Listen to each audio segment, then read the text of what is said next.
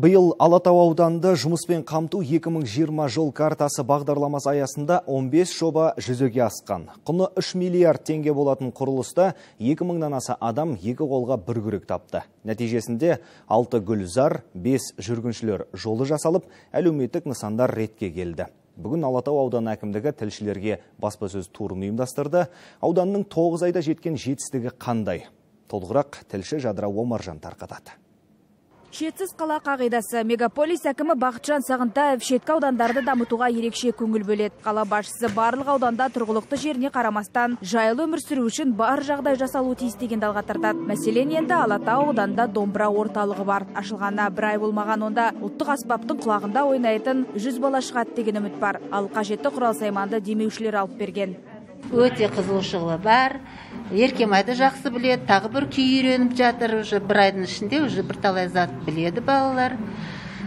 Балаларға ұнайды өздері келеді бір күн әлі сабақты не пропускали как говорится.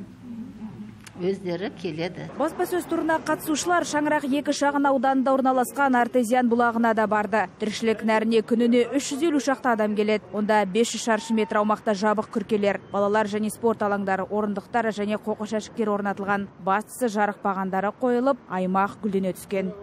Биыл пандемияға қарсы дорожный карта займ істеген болды ғой. Дкз дейміз ғой. Сонымен жасалған нәрсе бір үш айдың маңында болды ғой. Осы төл уақыттың бойы үш айдың маңында осындай жұмыс жасалынды. Екі жүз елу адам екі жүз елу адам жұмысқа орналастырдық.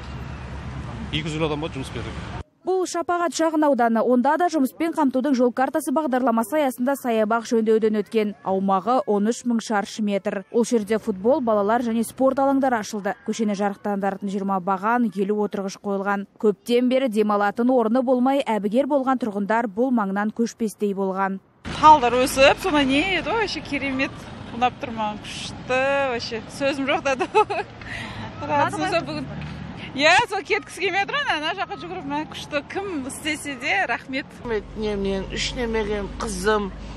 Біз осында шығамыз качели міне. Ойын пожалуйста бәрі. Вообще молодцы. Мен рахмет айтамын Алатау ауданының мақтанышы Қарағайлы орман. 3 гектар аумақтың іші жасыл желекке толы. Онда 4000 шақырым жер абаттандырылып, 1000 шаршы метрге тас төселді. Енді ауданда күз мезгілінде 170 мыңнан аса ағаш егілмек. Жобаны Алматы әкімдігі мен эко белсенділер бірігіп қолға алған. Жадыра Омаржан, Сағынғали Мұңайтпасов, Алматы телеарнасы.